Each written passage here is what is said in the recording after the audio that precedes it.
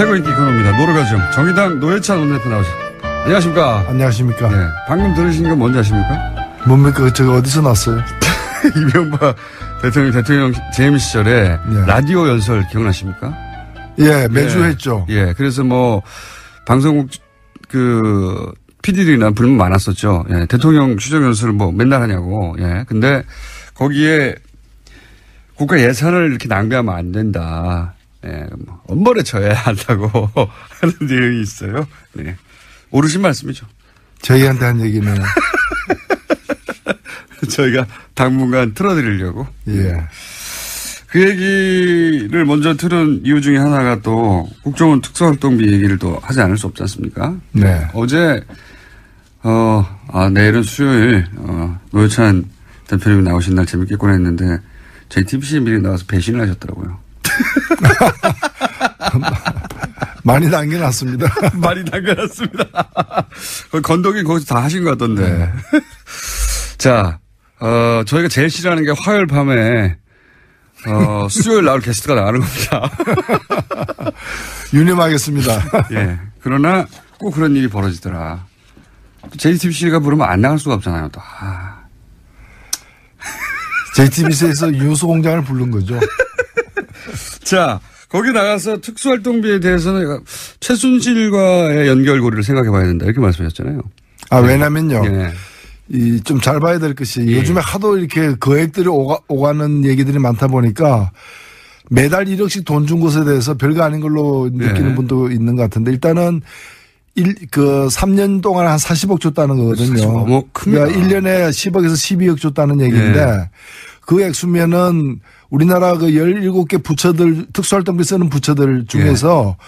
중간 정도 되는 이제 그 외교부 예. 외교부가 1년에 쓰는 돈이 그 돈이 안 돼, 안 돼. 아, 9억이 채 안 됩니다. 9억이 안 돼요. 1년에 9억이 채 안 됩니다. 그러니까 한 부처가 쓰는 특수활동비보다 더 많이 더 많이 쓴 겁니다. 아. 그러니까 이게 그 금압이 용돈 이런 개념이 아니에요. 이거는 그러니까요. 진짜 특수한 활동을 위해서 준 돈이다 이렇게 봐야 되고요. 음. 또이 돈을 요구했다는 거 아닙니까? 안봉근 그렇죠. 이자만이 직접. 예. 내놔라. 내놔라는 얘기는 나 술 한 잔 먹게 밥 한 번 먹게 돈 달라 이 얘기가 아니거든요. 네. 우리가 지금 중요한 일을 하고 있다. 네. 그돈 좀 내놔라 이 얘기고 그 중요한 일이 누구 뭐겠습니까?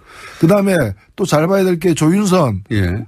정무수석 예. 월 500씩 줬거든요. 요건 용돈에 가까워 보입니다. 그렇죠. 예. 그건 500인데 여기는 1억이라는 거죠. 그렇죠. 다 그럼 그 차이는 뭐냐? 예. 대통령과의 거리 차이입니다. 음. 대통령과 조윤선의 거리. 예. 그 다음에 이 문고리 3인방과 대통령과의 거리. 예. 거리가 가까우니까 돈이 더 많이 간 거고요. 제2부속실장. 예. 그리고 총무 그 수석. 예. 정무비서관 정무비서관이죠. 시절에 예. 이걸 받았는데 예. 제2부속실이 뭡니까? 이게 원래는 대통령 배우자. 예. 근데 배우자가 없는 대통령이니까 그, 그 제2부속실이 최순실 뒷바라지를 한 거거든요. 그렇게 나오고 있죠. 예. 예. 그 이영선, 예. 그 다음 윤전추. 예. 이런 사람들이 다 어디서 근무했느냐? 제2부속실입니다.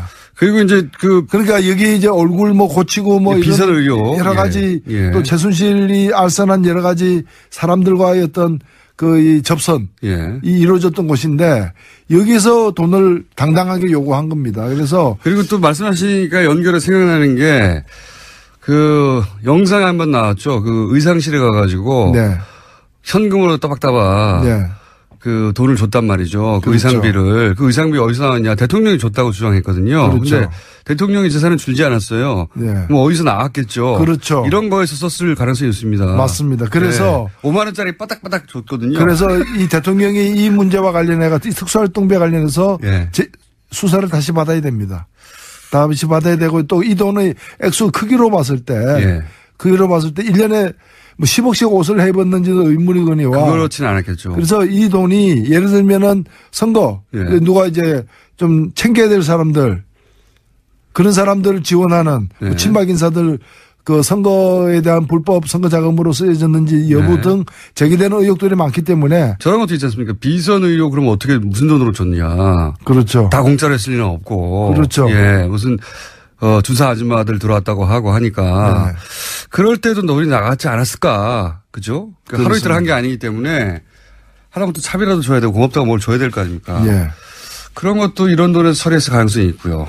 그래서 사실은 이 빛과 그림자처럼 그 빛이 있으면 그림자가 나오듯이 활동이 있으면은 돈이 필요한 거 아닙니까? 예. 그럼 이제까지 그 불법적 여러 활동들 예. 또는 탈법적인 그런 활동들은 많이 드러났는데 그것이 어떻게 움직였는가? 예. 차는 갔는데 기름은 어디서 넣었느냐? 예. 무슨 돈으로 기름 넣었느냐? 이게 이제 안 드러났는데 그 일단이 드러나고 있다. 이래 봐야 됩니다. 최순실 처음엔 최순실 씨의 돈으로 준 거 아니냐? 어, 이런 얘기도 있다가 그렇게 되면 문제가 되니까 이제 대통령이 주었다. 대통령부터 받아서 돈을 줬다. 의상비 같은 경우에. 그러면 대통령 의상비는 대통령 계좌에서 나오거나 돈에서 나와야 되는데 그 재산은 변함이 없어요. 그러니까 이런 데가 아니었을까. 옷값도. 그러니까요. 국가정보원. 국정원에서 대통령 옷값을 준 게 아닐까 결국 예. 받아가지고. 국가의상실이었던 거예요. 의상실.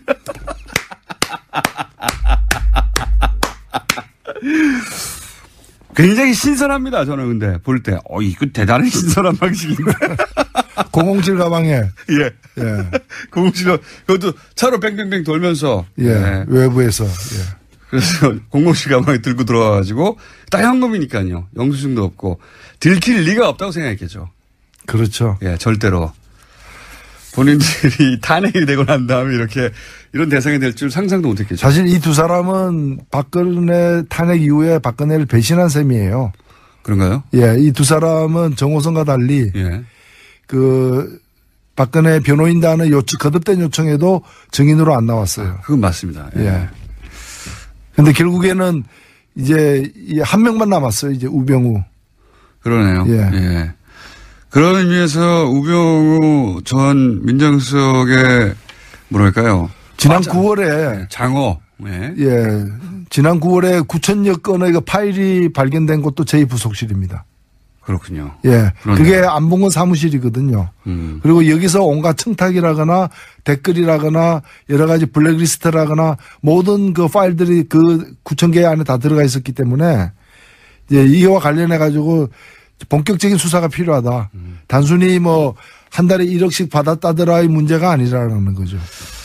착복을 했어도 문제고요. 의상비를 줬어도 문제고요. 혹은 뭐 정치인들한테 지원을 했어도 문제고요. 어느 쪽으로 가도 문제입니다, 이거는. 예. 그렇습니다. 아, 아주 외통수에 걸린 게 아닌가. 근데 그 방식은 참 신선하다.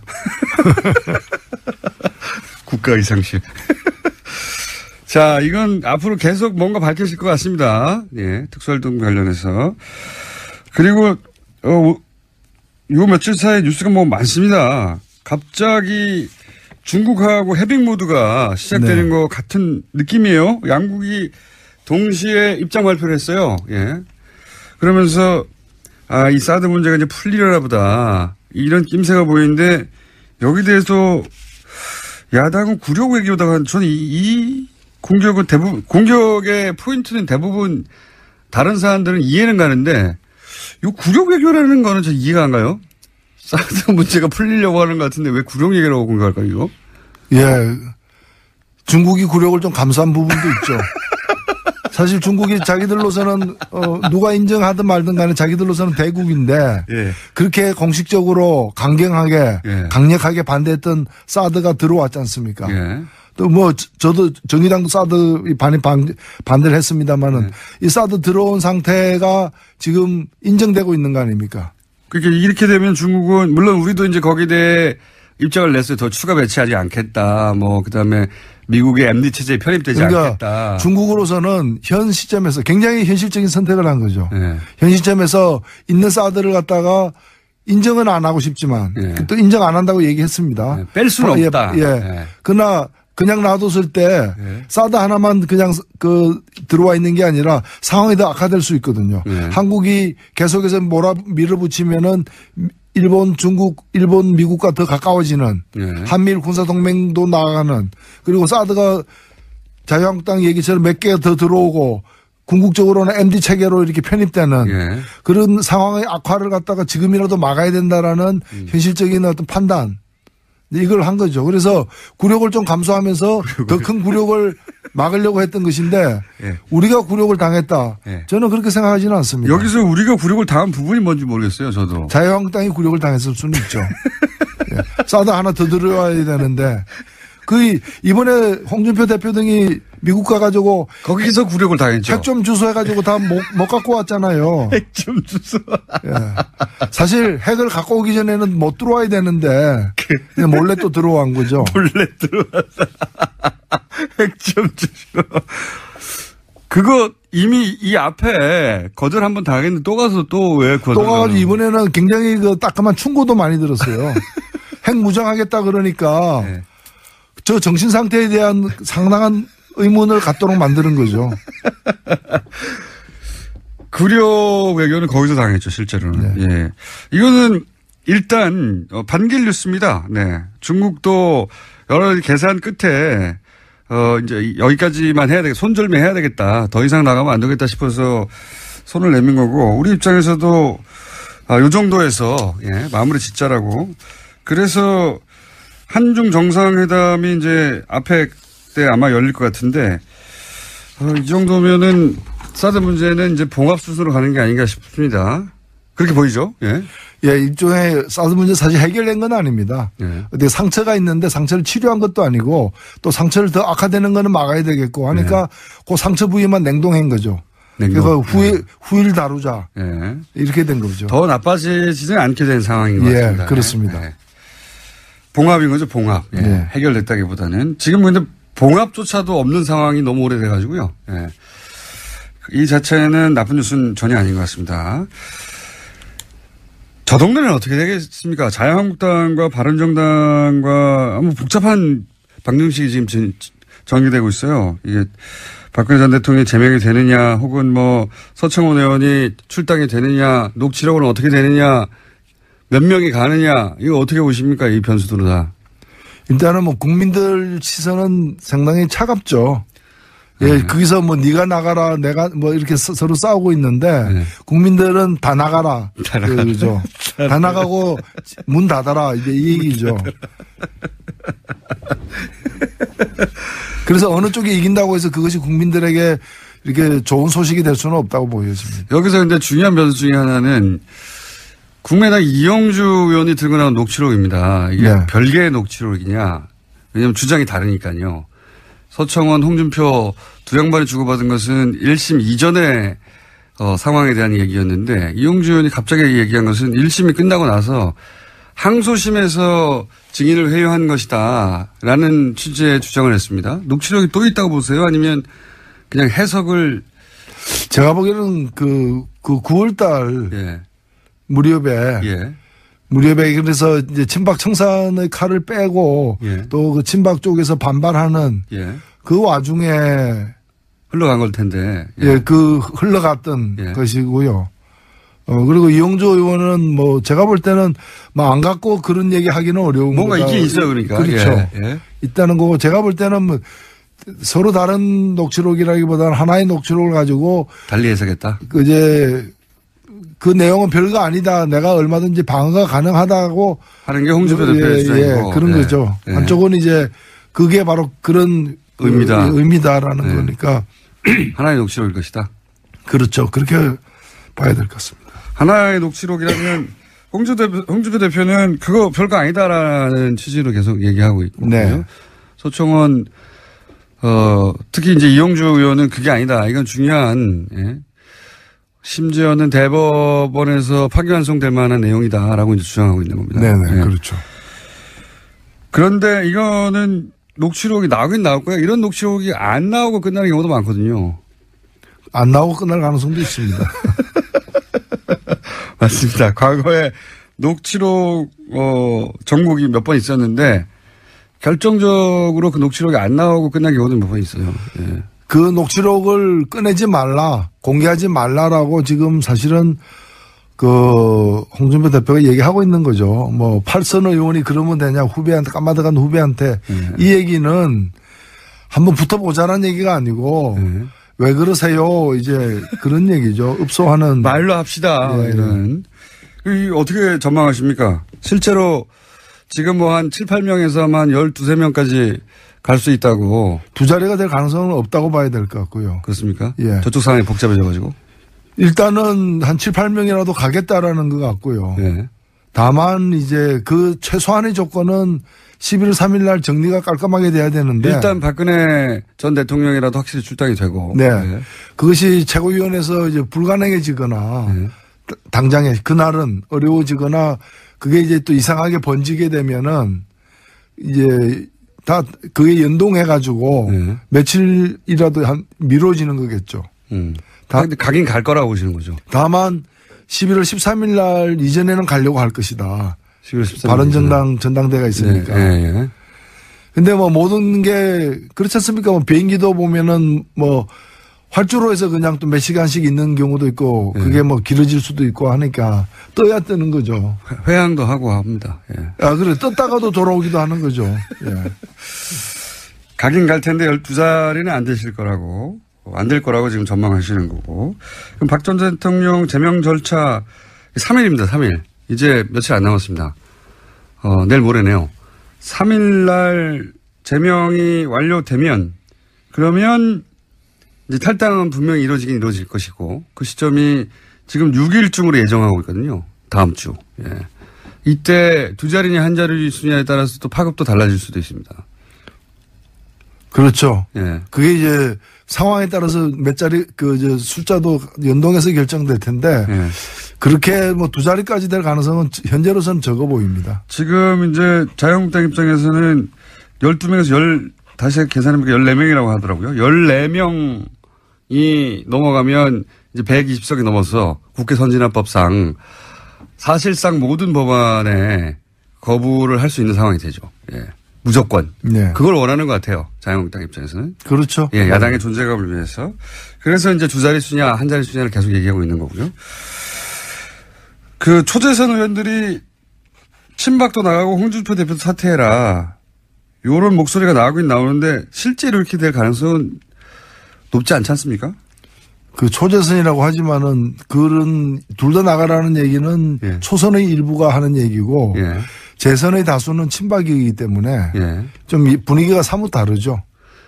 이거 만약에 의총을 해가지고 현역, 그 서청원 최경환 의원은 현역이라 출당의 조건이 의총을 해서 그러니까 현직 의원들끼리 모여가지고 표결해야 되지 않습니까? 그래서 3분의 2가 어, 결정해야 되는데 그건 어렵지 않겠습니까? 그거는 어, 불가능해 보인다는 게 그 여의도의 정설입니다. 그죠? 네. 예. 아직, 어, 서청원 최경환 의원 소위 친박이라고 하는 숫자가 그냥 단순히 숫자로만 쓰면 더 많지 않습니까? 그렇죠. 예, 여전히. 자, 어, 국감은 어떻게 평가하십니까? 사실상 마무리 됐는데. 막판에 이제 자유한국당이 나갔다 다시 들어오기도 했고요. 예. 국감이 그 사실은 자유한국당이 이번에 피감 기간이었어요.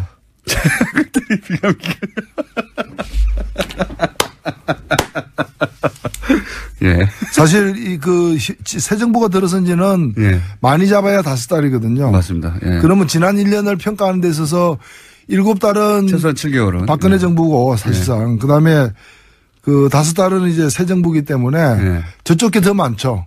예. 그리고 새로 드- 됐기 때문에 뭐 사고 칠 시간도 없었고 아직 없었고. 그러니까 주로 이제 굵직굵직한 거는 다 저쪽에서 이제 벌어진 거니까 제가 볼 때는 감사를 어 이렇게 안 받으려고 뭐 잠시 있다. 이제 도망갔다가 이제 다시 들어온 게 아닌가. 그리고 예. 너무 제가 참 저도 차- 그 자괴감이 들 정도로 시중에 모든 유언비어 다 갖고 와가지고 예. 막 그걸 쏟아붓고 이렇게 참 그런 어 한심한 광경들이 많았습니다. 예를 들면은 제가 이제 가장 이제 국감 막바지에 흥진호 사건이 있었지 예, 않습니까? 예. 나선데 계속해서 자유한국당에서 그 화면을 틀면서 예. 흥진호 북한의 그 어선들이 이제 뭐 뒤에 밝혀졌지만은 이 20시, 20시간이나 북한 수역에서 예. 모든 걸 다 꺼버리고 예. 위치 확인 같은 거 못하게 해놓고 거기서 고기를 잡고 있었던 거죠. 그렇죠. 예. 불법 어로를 한 거죠. 예. 그 다음에 이 사람들이 또 잡혀, 저, 결국에 납포당해가지고 예. 원산, 예. 한국까지 가, 갔던 게 22일인데 예. 그 22일 아침에 선주는 예. 선장하고 통화했다고 또 거짓말했어요. 음. 그러니까 선주란 사람도 이게 북한에서 수- 조업하고 있기 때문에 위치를 알 알고 수 싶지 없는 거를. 갖다가 예. 알고 있는 거예요. 예, 예. 근데 우리나라 당국을 속, 속이기 위해서 예. 해경에다가 이 위치를 갖다가 나는 선장하고 통화했다니까 해경은 잘못된 통보를 듣고 예. 20일 아침까지 어, 통화가 됐구나 하고 예. 계속 바다를 찾고 있었던 거예요. 예. 그럴 수밖에 없죠. 어, 네. 예. 그러다가 그러니까. 이제 돌아왔는데 예. 돌아올 때 막 온갖 카메라들이 다 달라붙으니까 마스크를 쓰고 이제 예. 선원들 10명이 이제 왔는데 북한이 의외로 일찍 돌려보냈어요. 예. 근데 그걸 가지고서 계속해서 어, 저 사람들이 왜 마스크 썼냐 이거예요. 저게 지금 어, 남한 사람이 아닐 수 있다라는 거예요. 지금 우리 어선들은 북한에 억류돼 있고 억류돼 있고 아, 그건 제가 못 봤습니다. 아, 억류돼 있고 이 사람들이 이제 북한 요원들이라 이거야. 광주 사태 때도 북한 그 게릴라 부대들이 들어왔는데 뭐 이런 식인 거예요. 그, 그런 주장도 아, 있었습니까? 그걸 갖다가 국회에서, 그래서 제가 장관에게 물어본 겁니다. 아니, 그러면 집단으로 마스크 쓰고 나타나면 다 간첩이냐. 자기들도 집단으로 마스크 썼잖아요. 그렇죠. 그, 예.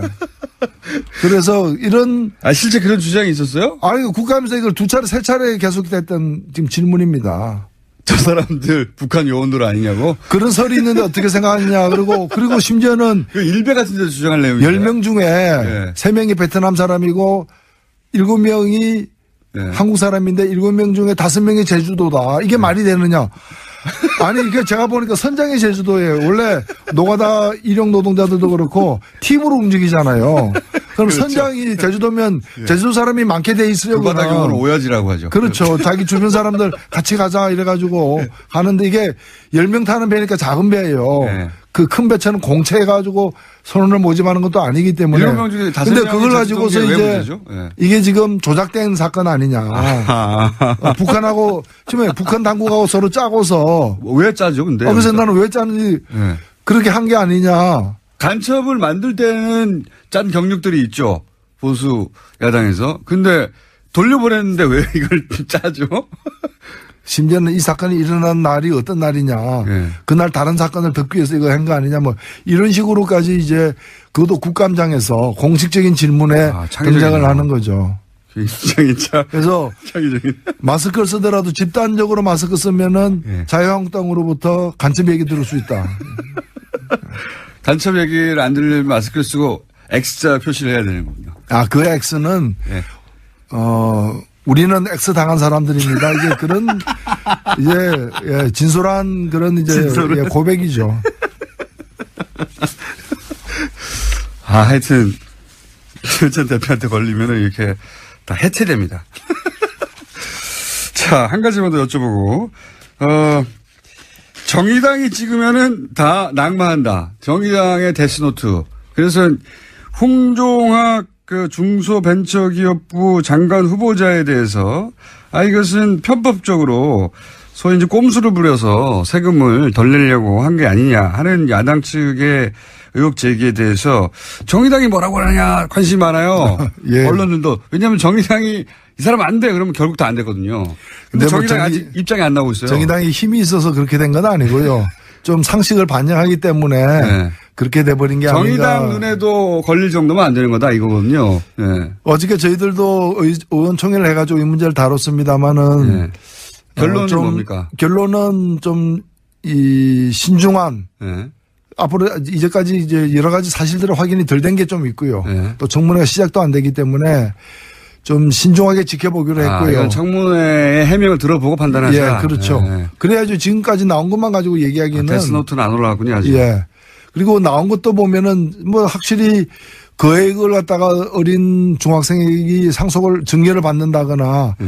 또는 이제 뭐 특목고 반대했는데 뭐 특목고 다닌다거나 이런 네. 것들이 국민들 시각에서 문제로 그 여겨지는 건 당연하거든요. 그 대목 자체로는 그렇습니다. 그렇죠. 예. 우리가 뭐 빈부격차나 이런 걸 감안해도 예. 그렇고요. 다만 이제 이게 구체적인 어떤 불법행위, 탈법행위가 있었느냐 없었느냐 예. 이런 걸 봐야 되는데 제가 한 가지 당부드리고 싶은 건 뭔가면은 제가 이 관련된 법을 낸 사람입니다. 지금. 예, 예. 그래서 제가 이 격세 예. 정리할 때 예. 그러니까 할아버지 할머니가 손자 손녀에게 네, 증여할 네, 네. 때 지금도 그렇게 되면요 아들 딸에게 증여할 때보다 세금을 더 내게 돼 있어요. 그렇죠. 30% 추가로 내게 네. 돼 있는데 제가 볼 때는 30%만 더 추가로 낼 게 아니라 네. 더 많이 음. 한50% 내자라는 법안을 지금 제출해 놓고 있는 거예요. 그러니까 예, 예. 해결이 상속을 금지할 수 있는 게 아니라면 예. 사유재산제가 인정되기 때문에 예. 상속을 금지할 수는 없을 것이고 그렇다면 세금이라도 많이 내게 하자. 이게 해법인데 이런 법 예. 부자에게 더 증세하는 법을 누가 반대했느냐? 예. 그 자유한국당 등이 반대했는데 그 사람들이 지금 난리를 치고 있어요. 그래서 그래서 그렇게 난리를 칠 것 같으면 미리 예. 이런 증세 법안에 찬성을 했어야 되는데 지금도 이 법안 되면 또 막 몸을 막 떨어요. 뭘 막. 예, 몸을 떨면서 반대해요. 근데 누가 이렇게 해가지고 예. 세금을 30%밖에 안 냈다 이러면 난리를 또 치는 거예요. 그러니까요. 그럼 더 내게 하면 그 법은 반대하고. 예, 그래서 예. 사실 홍종학 의원도 19대 때 예. 30%로 50%로 늘리자는 법을 냈었어요. 그러니까 본인을 불편하게 했는 근데 그 법이 냈어요. 예. 19대 국회에서 통과가 안 됐어요. 안 됐죠. 왜? 반대하는 사람이 많아서. 예. 저는 이런 걸 고쳐야 된다고 봅니다. 그래서 그 돈이 많은, 불법으로 만든 돈이 아니라면 부자라고 해서 돈이 많다고 해서 죄, 죄가 되는 건 아니거든요. 예. 다만 제, 그 사회적 재분배나 이런 걸 위해 가지고 상속하거나 할 때는 어, 할 때는 세금을 다른 더 내라. 나라처럼 예. 좀 많이 내 가지고 음. 재분배가 효과를 보도록 하는 게 그게 해법이다. 이렇게 생각됩니다. 알겠습니다. 그래서 저도 사실은 그 이게 어이 프레임 그러니까 자유한국당 프레임만으로 바라보면 안 된다. 이 제가 보기에는 홍종학 후보의 나름의 부의 대불림에 대한 경제적인 자신만의 그 입장이 담긴 거 해법인 것 같은데요. 그거는 근데 들어봐야 알겠습니다. 저도 예, 기본적으로 들어봐야 알겠는데 그래서 자유 어 지금 정의당도 정의당은 매정하죠. 낙마하면 낙마라고 딱 찍어버리고 근데 요, 요사는 낙마가 아니라 어, 청문회까지 들어봐야 되겠다. 예. 이렇게 정의당은 정의만 생각합니다. 자 오늘 여기까지 하겠습니다. 지금까지 정의당 노회찬 원내대표였습니다. 감사합니다. 네, 감사합니다.